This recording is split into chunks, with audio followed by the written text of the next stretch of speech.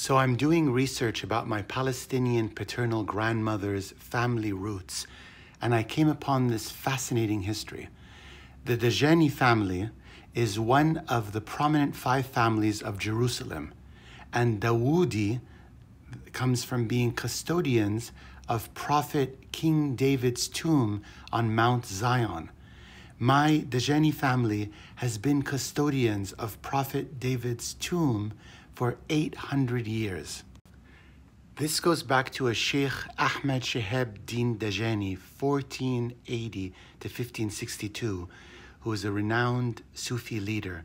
In a waking vision, El Dajani sees the spirit of God's messenger David, who pleads, Save me, O Ahmed, for my rescue will be at your hands. And he understood that David's tomb at Mount Zion was not taken care of well by the Christian monks. More in the description.